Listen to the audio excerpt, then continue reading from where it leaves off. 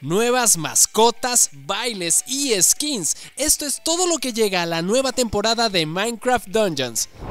Ya llegó el nuevo pase de aventura. 50 nuevos niveles con recompensas llegan a Minecraft Dungeons. Desde nuevas skins que te van a hacer parecer un arbusto con piernas hasta bailes que harán que seas la envidia de tus amigos. 50 recompensas nuevas te esperan en el pase de aventura Noche Luminosa. Ay, no terminé mi pase de aventura de la temporada 1. Y si aún no terminas el primer pase de aventura de Minecraft Dungeons, tranquilo, respira. Todavía puedes continuar tu pase anterior donde lo dejaste, así que tómate tu tiempo para terminarlo y desbloquear a la cabra bebé oscura. Porque, ¿quién no quiere a la cabra bebé oscura? Y si lo que buscas es un nuevo desafío, te tenemos buenas noticias. ¿Buscas un reto? ¿Peleas interminables? ¿Recompensas únicas? Tenemos lo indicado para ti en la nueva versión de la torre.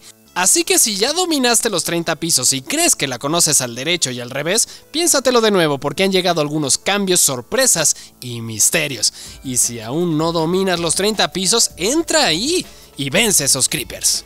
¿Te sobran ítems? No hay mejor sentimiento que ver tu inventario ordenado. Y ahora tienes un cofre que te puede ayudar con esto. Solamente tienes que ir a la zona común en el juego.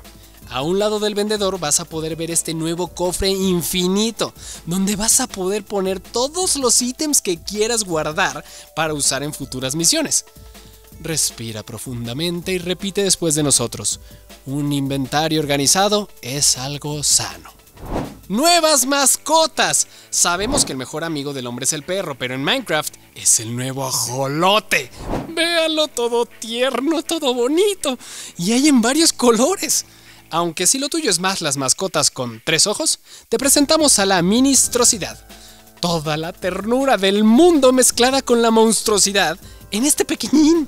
Vean a la ministrosidad, toda pequeña, toda bonita, que no hace nada mientras las hordas de enemigos te atacan.